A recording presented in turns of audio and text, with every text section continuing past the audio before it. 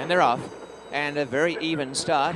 Dreaming in Diamonds and off-track Humour are out in front, battling for the early lead. A length away, Magic Blast drives up on their inside, and Megan's Revenge is there, and coming up the rail is also Yep, Yep, Yep. As they go out each in front by a half, Magic Blast and Yep, Yep, Yep. Up the inside, tracking is also Prairie Dog, with Dreaming in Diamonds sharing third. On the outside goes off-track Humour Megan's Revenge from Maggie May.